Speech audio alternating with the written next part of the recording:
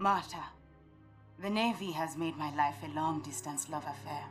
The things I love are all far away. My home, my animals, you. I am doing important work.